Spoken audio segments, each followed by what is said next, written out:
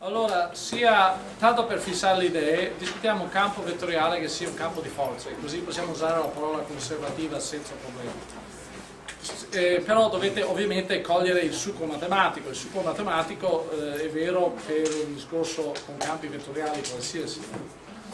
Sia quindi F è un campo vettoriale di tipo irrotazionale, cioè conservativo nel senso della definizione dalla quale siamo partiti ok? Cioè sia un campo che ha questa proprietà, che presa, presi due punti qualsiasi, l'integrale curvilineo eh, non dipenda dalla curva.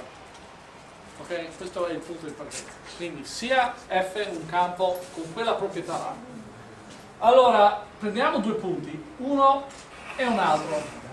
Solo che uno di questi, pensatelo inchiodato, fermo. Scegliete un punto che vi piace tanto e quello lì lo chiamate un punto di... Uh, i, uh, eh, nella vostra testa è un punto fisso. È il vostro punto di riferimento. Non, non, non chiamatelo origine perché non è detto che ha coordinate 0, x uguale a 0, y uguale a 0, uh, z uguale a 0. È un punto che a me piace tanto. E nella vostra testa tenetela inchiodata. E invece l'altro punto lasciatela libero di muoversi cioè voi nella vostra testa questa la tenete ferma e questa la varierete. Allora se il campo vettoriale F è irrotazionale, conservativo, allora sappiamo che il valore dell'integrale curvilineo dal vostro punto preferito al vostro punto libero di cambiare, l'integrale curvilineo non dipende dalla curva. Non dipende dalla curva ok? Potete quindi tracciare a questo punto una curva a caso e calcolando l'integrale curvilineo lungo la curva ottenete un valore che sarà uguale a quella di calcolarla lungo qualsiasi altra curva. Mm? Quindi questo punto qua, se la cambiate nella vostra testa, lui la varierete, il numero che ottenete è una funzione L'integrale curvilineo con un estremo inchiodato e l'altro libero di muoversi è una funzione del punto che è libero di muoversi. È un numero. E quel numero cambia quando questo tenuto fermo, spostate questo. Quindi come voi spostate questo punto, il numero cambia. Quindi l'integrale curvilineo con il punto di riferimento fisso dipende dall'estremo superiore. È un numero che dipende dal punto alla quale voi volete arrivare. Quindi è una funzione del punto libero. Siccome il punto libero è un problema bidimensionale o tridimensionale, ha le sue coordinate. Quindi questa è a ben guardare una funzione di, in questo caso, il caso tridimensionale, è un problema di una funzione di tre variabili. Ok? Adesso io voglio variare a partire dal punto P0, voglio fare una piccola variazione. Voglio variare di poco le coordinate del punto P0. Ma ho tre coordinate, quindi voglio provare per esempio a variare solo la coordinata x. Quindi per esempio voglio pensare, siccome questa coordinata x, immaginate questo punto qua. Questo punto, questo è il punto P0. Questo punto che coordinate ha? Ha coordinate x0 più delta x y0, z0, cioè ho variato solo la coordinata x. Variato solo la coordinata x.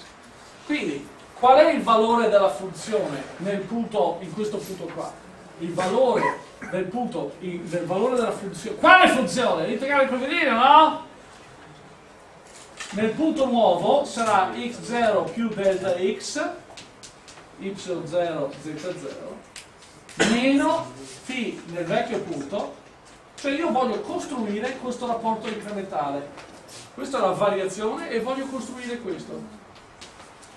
Ok? Voglio costruire il rapporto incrementale. Come varia la funzione? Φ, qua, quale funzione? L'integrale curvilineo dal punto inchiodato al punto variabile. Quando vario di poco la funzione nella direzione x. Voglio calcolare il rapporto incrementale e studiarlo. Scriviamolo esplicitamente. Allora, cos'è questo? Questo abbiamo capito, è questa roba qua. Chi è questo? Beh, siccome f è una funzione irrotazionale, io posso pensare di andare dal punto riferimento lungo la qualsiasi punto fino a qua questa è una curva qualsiasi, quindi l'integrale curvilíneo da qua a qua è φ di P0. Poi immagino un altro pezzo di curva che va dritto. Ok? Cioè aggiungo alla curva, chiamiamola la curva C, un altro pezzettino che va dal punto P0 al nuovo punto. E il nuovo punto come differisce da P0? Differisce solo con la coordinata X. Ok? Quindi questo oggetto qua, la φ um, da x0 più delta x più, mannaggia me, come la posso scrivere? La posso scrivere come l'integrale, evito di scrivere gli integrandi, guardo solo gli estremi, dal punto di riferimento al punto P0 più un integrale che va dal punto P0 al nuovo punto, chiamiamo questo nuovo punto che so, il punto, ah sì, il punto P, dai.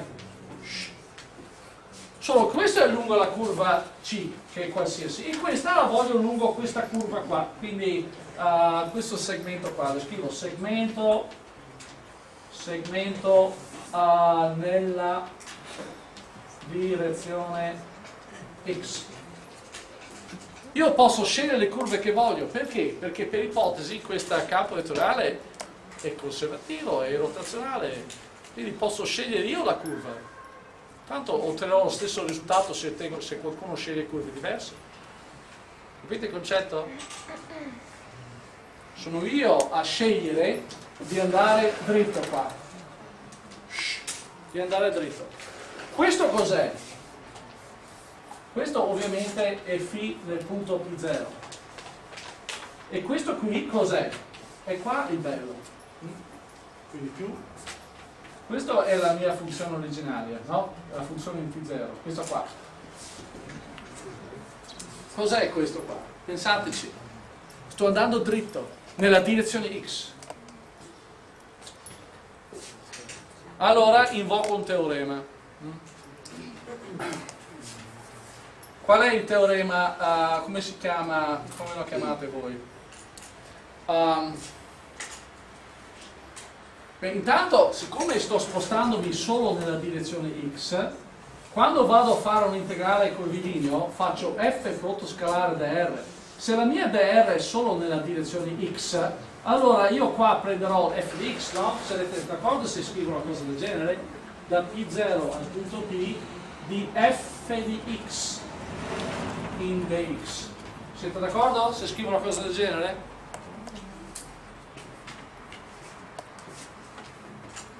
Perché ho scritto così? Perché quel segmentino, questo segmentino è puramente nella direzione x. Questo segmentino qua ho la dr che è uguale a dx q di x. Quindi quando vado a fare f prodotto scalare dr, questo mi diventa, devo fare il prodotto scalare di qualcosa che è puramente nella direzione x, quindi questo mi diventa la componente x di f in dx. Lo vedete? Sì o no? Qui, quindi, quindi qui io sto facendo un integrale a curvilineo, ma la cosa interessante è che l'argomento qua, questo integrando, sono lungo punti che hanno lo stesso valore di y e per quello anche di z, quindi dovete immaginare che c'è un problema tridimensionale, e io ho variato solo la componente x del punto. Mi sono spostato nella direzione x, non ho toccato la y e non ho toccato la z. Quindi a ben guardare, questa, questa roba che è qui ha le stesse coordinate, um, come potrei scrivere? Scrivo una cosa del genere sto variando la x, d'accordo, ma ha la stessa coordinata y e la stessa coordinata z di questo punto. Ho toccato solo il valore x. Quindi questo è dal punto x0, y0, z0 a un nuovo punto che è x0 più delta x, y0, z0. Cioè io sto integrando nella direzione x e basta.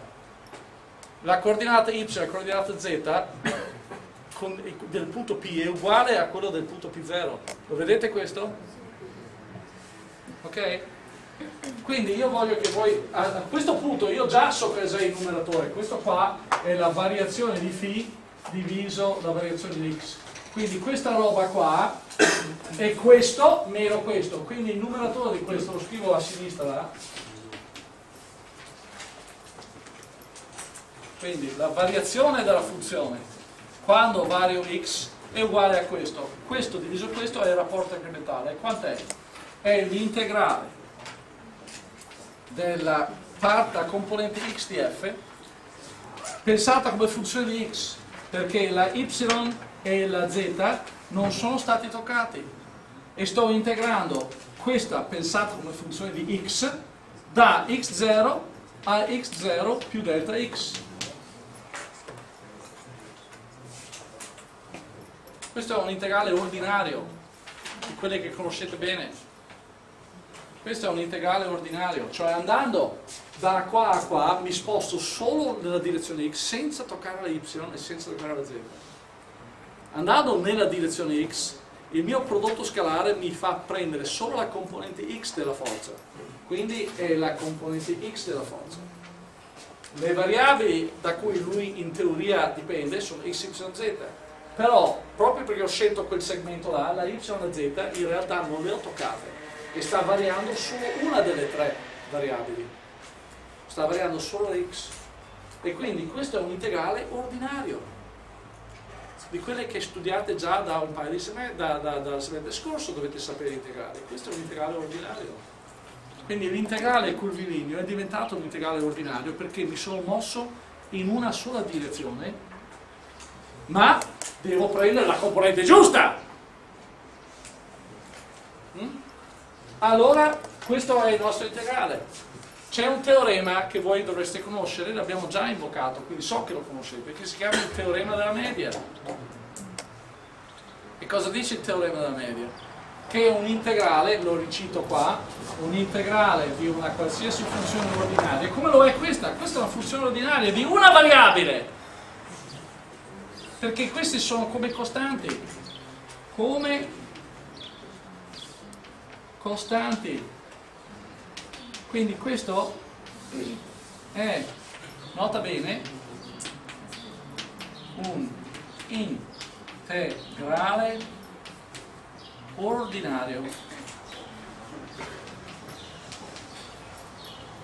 Perché sono libero di scegliere quel percorso da qua a qua andando dritto? Perché so che mia, il mio campo vettoriale è irrotazionale, cioè andare da questo punto a questo punto otterrei la stessa risposta lungo qualsiasi curva che collega questo a questo. Quindi io scelgo la curva che mi è intelligente perché scegliendo questa curva il mio integrale ordinario si riduce a essere un integrale ordinario. Questa è la furbata. Sto usando la proprietà di f che, che, che per ipotesi è di tipo irrotazionale. Quindi andare da qua a qua per calcolarmi l'incremento, l'incremento di φ cos'è? È quello che mi il, il valore dell'integrale curvilíneo da andare da qua a qua meno andare da qua a qua. Quella è la variazione che φ subisce quando vario il punto, d'accordo? La variazione quindi è tutto meno il primo tranche quindi il pezzo netto in più, la variazione, è quello che, che è il valore dell'integrale curvilino da andare a qua a qua, lungo qualsiasi curva. Potrei andare lungo questa, potrei andare lungo questa qui, o potrei andare dritto. per ipotesi otterrò esattamente lo stesso valore, perché è una funzione, è un campo direzionale irrotazionale, sto perdendo la voce. Per quale motivo sceglio il percorso dritto? Scelgo il percorso dritto perché l'integrale curvilineo nell'andare da qua a qua mi diventa, scegliendo il percorso dritto, un integrale ordinario. Eccolo qua. Sono furbo io, ho sfruttato la proprietà matematica del campo vettoriale.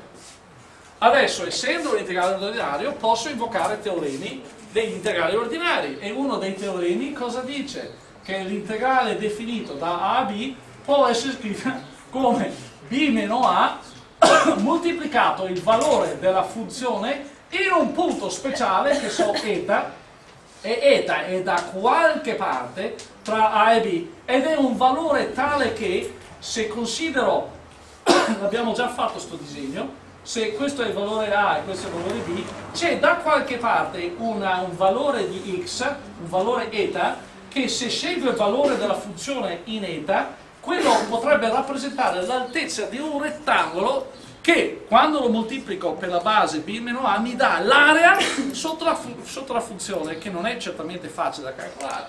L'area qua più o meno sarà uguale all'area di un rettangolo fatto così. Quindi questo sovrastima ma questo sottostima magari quello che sottostimo qui compensa quello che è qua e quindi vedo che questo valore di eta tra l'altro ottenevo la stessa cosa che era qua, questa altezza mi dà l'area corretta e questo è quello che mi sta dicendo. L'area corretta può essere pensata come l'area di un rettangolo della base b meno a e di un'opportuna altezza, d'accordo? Ecco, usiamo questo cazzo di, te questo teorema perché, perché, possiamo invocarlo? Perché questo è del dato l'integrale ordinario. Il cancellino dov'è? Non lo vedo. Eccolo qua.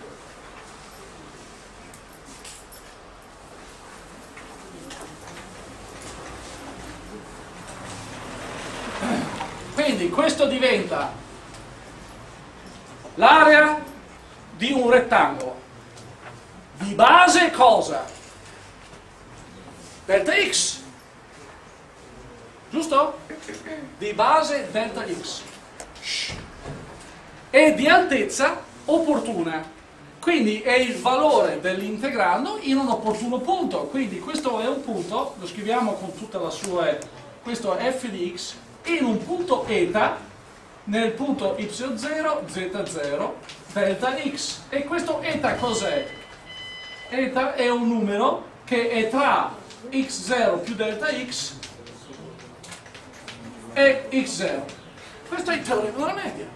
C'è un eta là in mezzo, c'è un punto, ah il disegno l'ho rovinato, quindi fatemi due secondi che la, che la ridisegno questa è la curva che va fino a P0, poi faccio un tratto rettilineo per portarmi a P, ok? Quindi sto variando solo, sto, sto variando solo la x, quindi eta è un valore compreso tra x0 e x0 più delta x. So che c'è, nell'ipotesi che la funzione f di x sia continua, perché quando i matematici vi hanno raccontato il teorema, ci sono delle ipotesi sulla funzione che sia continua, integrabile, non abbia patologie strane. E qua certamente potete immaginare che le funzioni in fisica non hanno queste patologie, possiamo andare abbastanza tranquilli. Faccio un po' di spazio.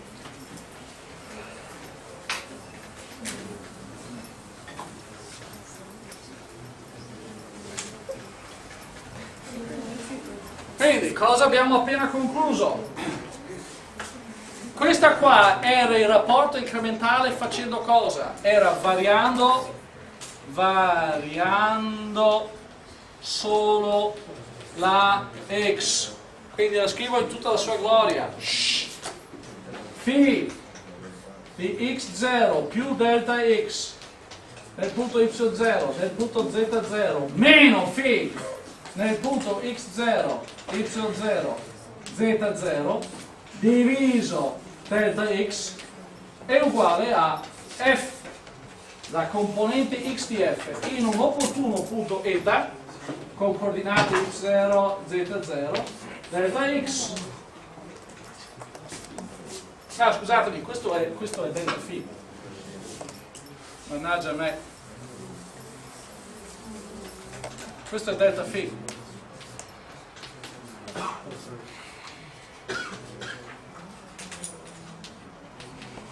Questo è delta φ non c'è questa roba. Qua adesso divido per delta x per fare la porta incrementale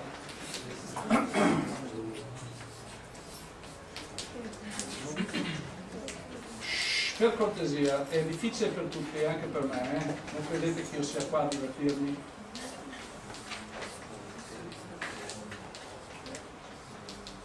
Ok quella è la variazione di φ variazione di φ variando solo la x può essere espressa come il prodotto di delta x per il valore di f di x, la componente di x, in un punto che ha coordinate y0 e z0 e coordinate x che con una coordinata x eta compreso tra x0 più delta x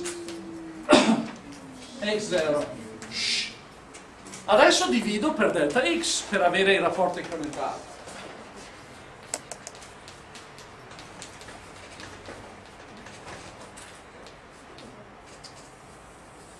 Ah, santa pazienza. Potrei fare come facevano i vecchi docenti, dicevano ragazzi, questa è la matematica che vi serve, arrangiatevi e ci vediamo, io faccio fisica. Invece io sto cercando di venirvi incontro raccontandovi delle cose che in teoria non dovrei fare, perché io insegno fisica, non è eh? D'accordo? Adesso cosa facciamo? Facciamo il limite per delta x che tende a 0.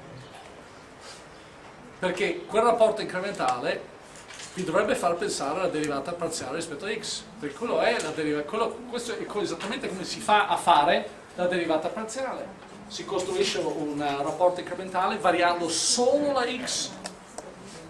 Variate la funzione variando solo la x. Quindi fate il calcolo di delta, quanto è cambiata la funzione? e la dividete per delta x, quello è il rapporto incrementale. Quanto vale il rapporto incrementale? Vale questo, con eta compreso tra questo e questo. Adesso nel limite che delta x tende a 0, cosa succede? Siccome eta è sempre tra x0 e delta x e x0, quando delta x tende a 0, eta cosa fa? Avete mai sentito ai miei tempi si parlava del teorema dei due carabinieri? C'è ancora? Si dice ancora così? Eh? quindi eta rimane sempre tra e 2 eh? con delta x che tende a 0 eta a cosa tende? a x0 quindi con delta x che tende a 0 questa roba qua mannaggia a me che ho scritto qua giù e non ho posto per continuare a scrivere a sinistra quando fate il limite shh, quando fate il limite di nuovo, sto scrivendo tutto per aiutarvi.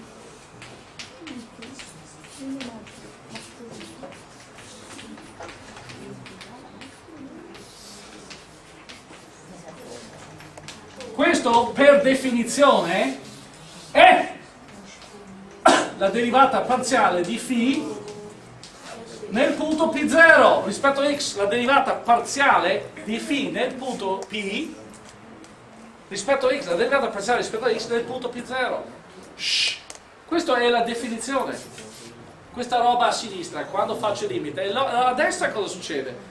Cioè questo tende a questo quando delta x tende a 0 e questo a cosa tende quando delta x tende a 0? Questo tende al valore di fx nel punto x0, y0, z0, cioè f nel punto p0 perché eta tende a x0 quando delta x tende a 0 il valore di là diventa il valore della componente x della forza nel punto P0 perché delta x tende a 0 fa crollare, fa collassare eta sul punto x0 lo vedete? ho appena concluso un teorema estremamente importante che la derivata parziale di φ rispetto a x in un certo punto è uguale alla componente x della forza in quel punto. Cioè se la forza è irrotazionale, allora esiste una φ, qual è la φ? Eccola qua, inchiodate a caso un punto e la φ diventa la funzione del punto uh, libero. Quale funzione? Il valore dell'integrale curvilineo. Quindi questa è la vostra φ. Eccola qua la vostra φ, φ di p, φ di p0. Eccola qua la derivata parziale di questa funzione è proprio la componente x della forza. Ovviamente cosa succede? Uh, io potrei fare la stessa cosa, invece di fare una variazione in x, faccio una variazione in y. Cosa avrei? Cambierebbe cosa?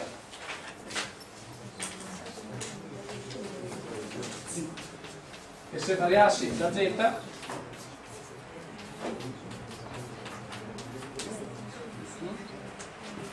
quindi abbiamo appena dimostrato. Quindi vi, vi assicuro vi faccio brevemente la variazione in z senza parlare va bene? senza parlare lo faccio rapidamente. Senza parlare quindi sono gli stessi passaggi ma semplicemente vorrei farlo così lo vedete. Quindi adesso il mio grafico questo è il punto uh, di riferimento il punto di riferimento. Questo è il punto P0 e voi andate qua all'altro punto P. Cioè non avete cambiato l'X0 avete cambiato invece la Y0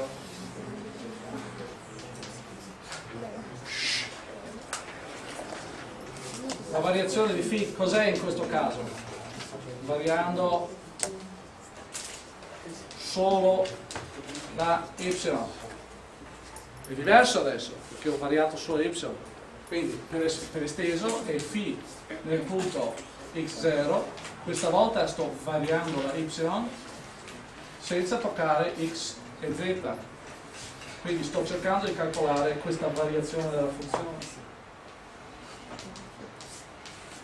Questo è il valore dell'integrale curvilineo andando da qua fino a qua. Questo è l'integrale curvilineo andando da qua fino a qua. Quindi la variazione è data solo da questo pezzo qui. E ho scelto io di andare dritti nella direzione y perché in, mo in quel modo queste differenze della funzione φ diventano un integrale ordinario. Da y0 a y0 più delta y della componente y della forza dove è la componente x che appare come una costante invece è la y che è una, che è una variabile la z appare come una costante e questa diventa dy questo è un integrale ordinario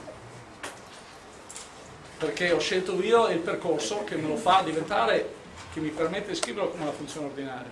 Vedete che l'integrando dipende da una sola variabile, è un integrale ordinario. Se sceglievo una curva strana avevo un, avevo un integrale curvilineo, invece vado dritto solo variando la y senza toccare x e z in questo caso. Quindi l'integrando, se volete, la funzione, la funzione, che sto integrando dipende da una sola variabile, quindi è un integrale ordinario. E per il, il teorema della media questo diventa delta y, che è la larghezza dell'intervallo su cui sto integrando, per il valore medio di cosa? Di f di y. Quindi questo diventa f di y in un punto che ha coordinate x0, coordinate eta, coordinate a, a, a, a z0 per delta y, dove questo eta è compreso tra y0 più delta y e y0 il teorema della media. A questo punto divido per delta y per avere il rapporto incrementale dove ho variato solo y. E questo è uguale alla componente y della forza in un punto x0 eta z0 Adesso faccio il limite e quindi cosa deduco? Tengo questo. Molto semplice, stessa cosa. Eh? Quindi ho appena dimostrato che se vale 1, se vale 1, allora vale, cancello un po' di roba e lo scrivo qua,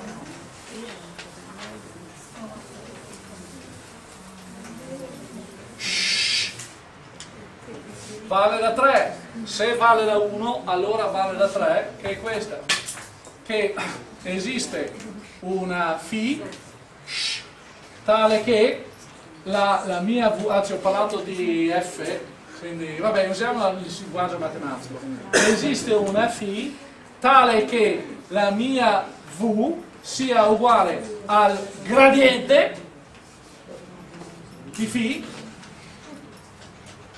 Vedete? che la componente x della, del campo vettoriale è la componente x del gradiente. La componente y del campo vettoriale è la componente x del gradiente. Okay? Questo è, questo è il linguaggio delle derivate e nella stessa dimostrazione c'è anche l'altro modo di esprimere il legame. Questo viene fuori da quello che abbiamo appena detto. Tac, tac, tac. Eh? E l'altro modo è da come abbiamo definito la φ ok? che la φ in un certo punto P è uguale l'integrale curvilineo da un punto chiamato arbitrario di riferimento al punto P di cosa? del campo vettoriale V scalare R ok? questo è, il terzo modo di dire cos'è un campo irrotazionale adesso in fisica shh, quando si fanno forze, cose qua, si introduce un segno meno che non c'è nella matematica ho fatto io, ma che alla fine ve lo faccio due secondi. Guardate qua. La φ cos'era? Questa φ che è la terza asserzione asserisce che esiste, e qual è? Per costruzione di questo. Allora, cosa fanno i fisici? Introducono una nuova funzione che è meno Esplicitate se volete un segno meno. Esplicitate un segno meno. E il motivo per cui lo si fa lo si capisce subito. O su, subito, mi sa, che, mi sa che non so se ho... Vediamo che ore sono. Potrei farcela. Sono le 35, cosa volete andare via 20 minuti di anticipo? È esagerato. Visto che dobbiamo poi recuperare tutte queste ore. Bene, vi siamo un po' siete già scontenti che dobbiamo recuperare e poi volete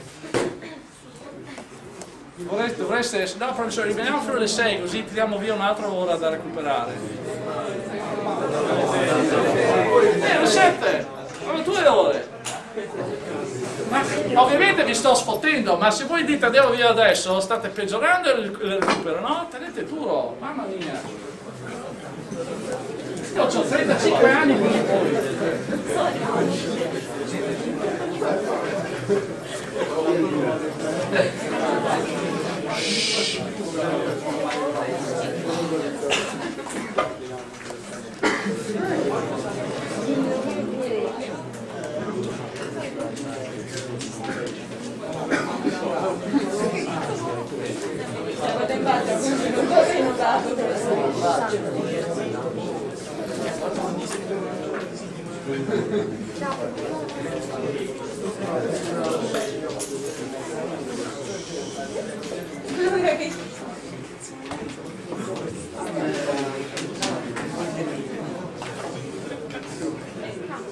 Aiutatemi con l'italiano, quello che voglio dire è questo, quando si ha a che fare con campi vettoriali irrotazionali che sono campi di forze, questi campi di forze sono chiamati conservativi.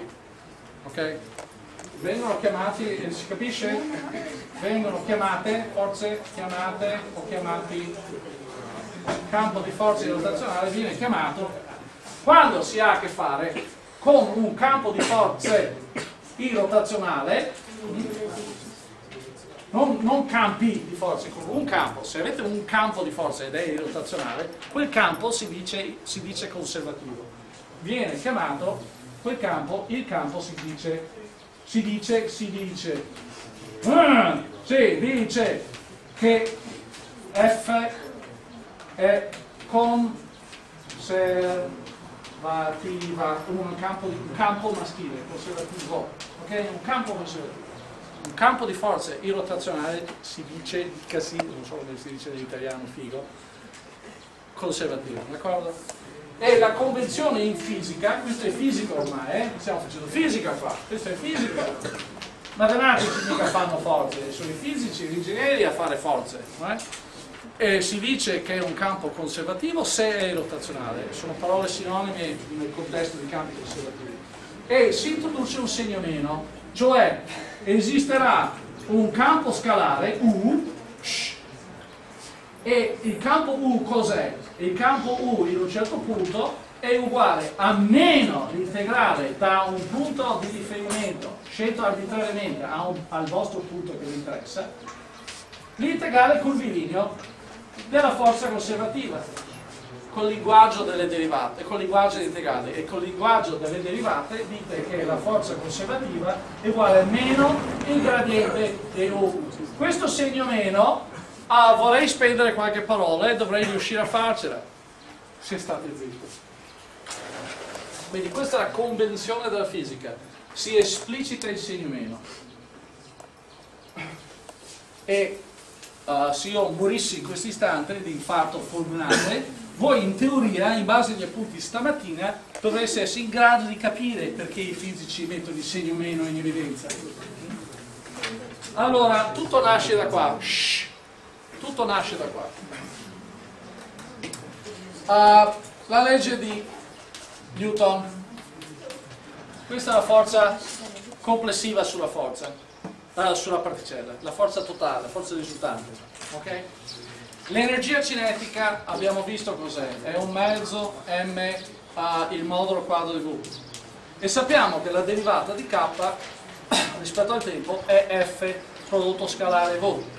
Io vorrei che voi riscriveste questo col linguaggio degli integrali, teorema fondamentale dell'analisi, della, della, dice che la variazione dell'energia cinetica, quindi K2 meno K1, la variazione di K, può essere scritta come l'integrale ordinario di questa pensata come funzione del tempo in dt da un istante 1 a un istante 2 e questa qua scritta col teorema dell'analisi fondamentale teorema fondamentale dell'analisi ok? se la derivata di k rispetto al tempo è questa roba qua l'integrale di questa roba del tempo è delta k ok? Molto semplice. Ovviamente pensando a questa come una funzione del tempo. Allora, cosa succede? Immaginate che questo sia l'asse dei tempi. Questo è l'istante iniziale T1, questo è l'istante iniziale T2. Se io voglio fare una stima di questo integrale, cosa faccio? Prendo tanti istanti intermedi tra T1 e T2, quindi ho tanti delta T. Ok? Allora, questo lo rifaremo giovedì, è un'anticipazione, ma voglio sfruttare questi minuti, così venite giovedì preparati a fare il discorso. Al passare del tempo, shh, questo immaginate sia il x, y e z. Immaginate che nell'istante 1 la particella è qua, a t1 lui si trova qua, quindi questo chiamiamo il punto A, se volete il punto A è, è che, che vettore posizione ha RA? RA è il valore di R quando t è uguale a T1 o TA, chiamiamolo TA va? questo è TA e questo è TB questo è nell'istante A questo è l'istante B d'accordo? usiamo una notazione che si rifà a quello che ho usato poco fa quindi quando, quando t è uguale a TA la particella si trova nel punto A Dov'è il punto A rispetto all'origine? È all'estremo del vettore posizione RA. Dov'è il punto B? Quando la particella arriva, nel, ah sto scambiando qua, questo è il B. Uh, supponete che dopo un intervallo di tempo la particella si trovi qua, quindi questo è il punto B, questo è il, è il vettore RB. Cosa si intende per RB? Si intende il vettore posizione quando t è uguale a tb, d'accordo? Eh? in un istante qua e un altro istante qua. Adesso prendete l'intervallo di tempo e dividete in tanti istanti intermedi. In tanti istanti intermedi lui si troverà qui, poi qui, poi qui, poi qui, poi qui, poi qui. Cioè questa è la posizione in questo istante, questa è la posizione in questo istante. In questi istanti si sposterà nello spazio. Quindi nel suo spostarsi, per effetto della legge di Newton, perché si sta spostando lungo una curva e non una linea retta? Perché c'è la forza, no? Lui fa quella curva perché c'è una forza. Ma all'istante, al, al passare di questi istanti, voi dovete immaginare che la particella si trovi qua, poi qua, poi qua, poi qua, poi qua. È chiaro che la curva vera magari è una cosa del genere, ma questi punti intermedi, che corrispondono a istanti intermedi, vi dovrebbero far pensare alla spezzata. Quindi quello che sto sostenendo, e giovedì continuiamo, è che questo integrale qui, ordinario, può essere convertito in un integrale curvilineo. Questo è un passaggio fondamentale e dovete pensarci, guardare nei libri, se non capite i miei appunti. Questo è un integrale ordinario, integ ordinario nel tempo e io lo converto in un integrale curvilineo del tipo che stiamo parlando già da due ore. Quindi diventa un integrale curvilineo che va dal punto A al punto B, cioè al punto iniziale, che corrisponde all'istante iniziale, al punto finale, che corrisponde all'istante finale. E la curva, lungo la quale io calcolo l'integrale curvilineo, è la traiettoria che la curva che la particella fa soggetta alla massa m. Se lui fa quella curva là è perché c'è la forza che lo sta facendo, che gli, che lo sta facendo seguire quella traiettoria. Quindi la curva che io individuo nello spazio al passare del tempo su questi, questi tic, istanti temporali, è la traiettoria, la curva che la particella veramente segue al passare del tempo. Questa curva qua è una parabola quella curva in un istante era qua, un altro istante qua, un altro istante qua, al passare del tempo la particella si sposta nello spazio e la, la curva che lui segue si chiama traiettoria, no? Quindi io converto questo integrale ordinario nel tempo in un integrale curvilineo calcolato lungo la traiettoria. Quindi scrivo così. Questo passaggio ve lo giustificherò giovedì. Si può capire qua che c'è una cosa di questo tipo perché vedete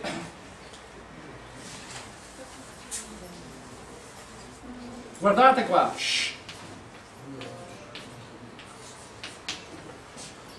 io posso prendere questi qua e cos'è VDT? è lo spostamento da R quindi questo qui io la penso come lo spostamento da R fatta così è un po' cialcionesco. Giovedì cerco di convincervi di più, ma almeno vedete che è plausibile una cosa del genere. V io la scrivo da R e quindi ho a che fare con un nuovo integrale che non è un integrale ordinario, ma è un integrale del tipo che vi ho parlato già da due ore, ormai è la terza ora, è un integrale curvilineo. Ok? Ma adesso supponete che, supponete che la forza sia di tipo shh, Mettiamola così, se io vi chiedo qual è la variazione di energia cinetica, voi per rispondere dovreste conoscere come varia la forza del tempo e la velocità del tempo, oppure dovreste conoscere già la traiettoria. Ma supponete che voi l'equazione di Newton non la sapete mm, integrare, cosa fate? Andate a casa, non sapete andare avanti.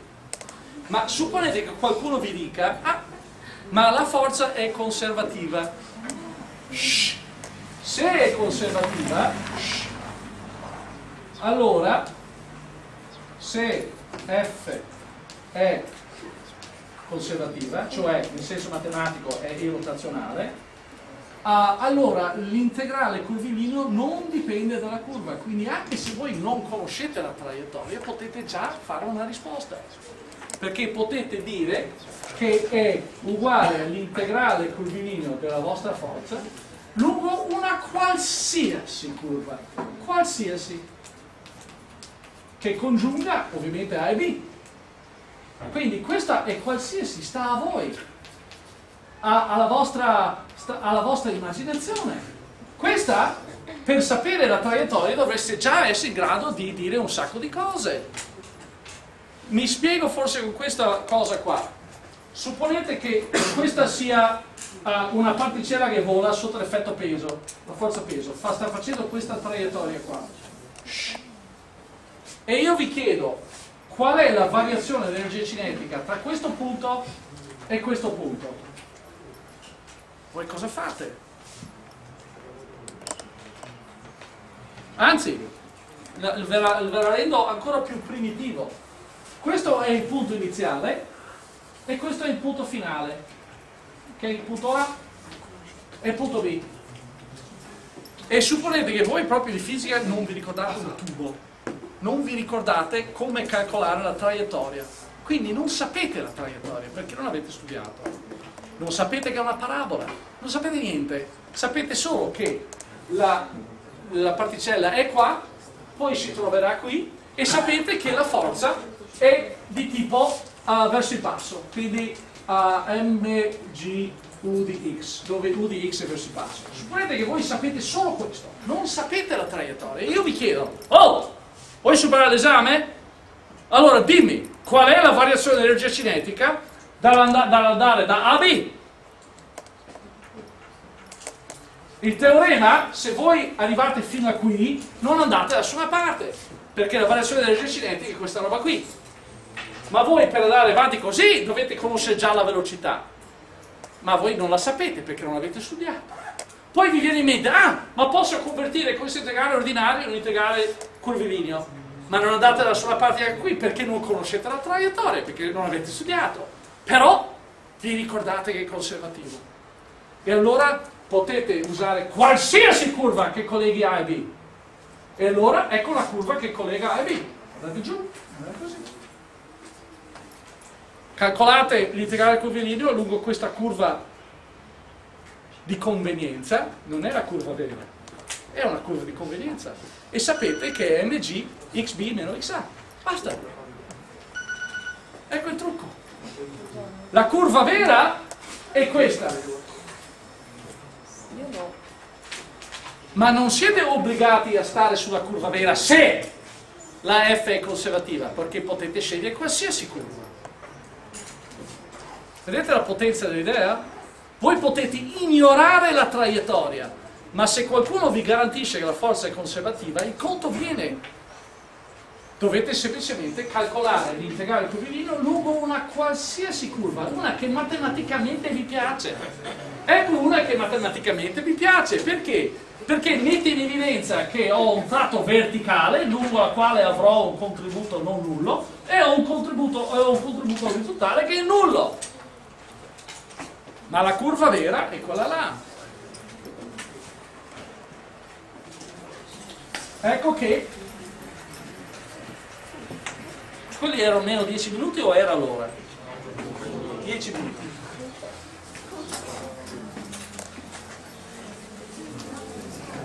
Vi faccio un altro esempio e poi ci lasciamo, ma state zitti! Eh? Supponiamo che questo sia il Sole mm? e questo sia, che so, un asteroide piccolino. La massa del Sole è molto più grande rispetto alla massa dell'asteroide. Mm? E qualcuno vi chiede, shh, qualcuno vi chiede, qual è la variazione dell'energia cinetica tra quando la particella è qui nel punto A a quando è qui nel punto B. Voi avete gli strumenti perché l'abbiamo fatto stamattina. Coraggio, mettete, sfidatevi, accettate questa sfida. Qual è la variazione, qual è la variazione di energia cinetica nell'andare dal punto A al punto B? È chiaro che qua non andate, molto, non andate molto lontani perché non conoscete in funzione del tempo, ascoltatemi, queste sono le parole chiave. Voi per usare l'integrale ordinario nel tempo avete bisogno di conoscere la, funzione, la f come funzione del tempo, avete bisogno di conoscere la velocità in funzione del tempo, dovete fare il punto scalare e poi integrare del tempo. Adesso voi non sapete praticamente niente della forza di gravitazione. Quindi non conoscete come la forza varia del tempo, nel, durante il suo passaggio da A a B, non sapete. Non sapete questo, non sapete quello, come cazzo farete a calcolare questo? Ovvero, con questo linguaggio, come fate a calcolare questo se non conoscete la traiettoria? Qual è la traiettoria che segue un asteroide attorno al Sole? La sapete calcolare? Sapete scriverla in maniera esplicita in modo da calcolare questo? La forza in funzione della distanza la conosciamo, l'abbiamo usato stamattina. Ma la traiettoria, perché voi dovete, in linea di principio, per calcolare questa integrale curvilínea avete bisogno di specificare la curva. Però poi vi ricordate, ma la forza gravitazionale è conservativa. È conservativa. Quindi a me non interessa nel calcolo specificare la traiettoria, la posso ignorare. Posso scegliere una qualsiasi funzione che collega i due punti A e B. Qualsiasi. Qualsiasi. Eh? Adesso forse si dipana. La curva vera, come Newton ha dimostrato, è una ellisse o comunque una sezione conica. Dovrei disegnarlo per bene, magari una cosa del genere. Ok? È un'ellisse. Ma la curva matematica di convenienza lungo la quale io la calcolerò sarà una funzione del genere, dove questo per esempio, mannaggia a me che ho messo la curva viola che mi rovina il disegno, questo è il Sole, questo è la particella, è il punto B.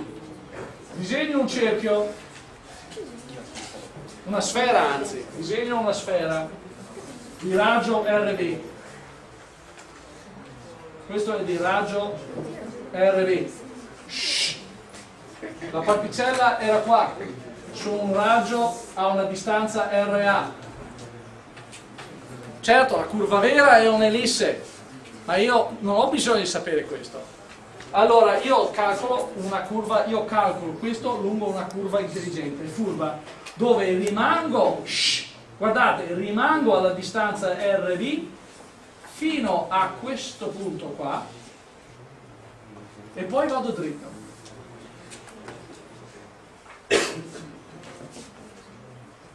Pensateci, perché questo mi dà la risposta giusta? Ovviamente non ho tempo per scendere nei dettagli e riprendiamo qua giovedì. Mm? Ma la risposta finale, questo lo possiamo scrivere, è che l'energia cinetica, questo scrivete giù perché è in programma, la variazione dell'energia cinetica è uguale a U U punto A meno U punto B. Quindi questo cos'era la U di stamattina? Cos'era la U di stamattina? La U, vi ricordate, era meno GM diviso M diviso R più C. Quindi ho C che va via perché avrò C su entrambi e questo è con la A, quindi avrò meno GM M diviso RA meno, meno più GMM diviso RD. Ok? Quindi la mia risposta è che è uguale GMM 1 diviso RD questo riprendiamo giovedì, ma intanto avete la risposta, devo giustificarvi che questo si può fare così. Quindi la variazione di energia cinetica non mi serve conoscere la traiettoria, perché? Perché vi convincerò che la forza, la forza uh, gravitazionale, come anche la forza di Coulomb, sono forze conservative, cioè sono irrotazionali e quindi non ho bisogno di, sapere, di usare la traiettoria, ma posso usare qualsiasi curva. Questo è il passaggio. Ci vediamo giovedì.